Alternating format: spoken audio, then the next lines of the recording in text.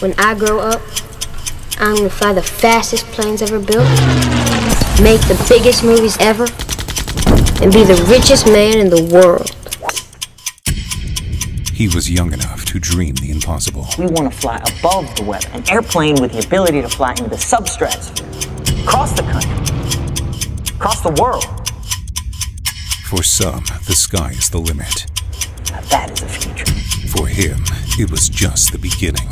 Sources whisper that young Texas industrialist Howard Hughes just won't stop pouring money into his war epic. And we mean epic. The way of the future. The Aviator. We just beat Germany and Japan. Who the hell are you?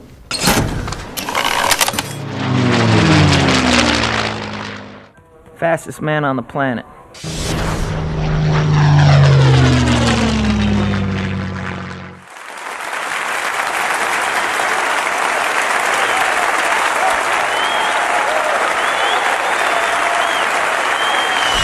Now play.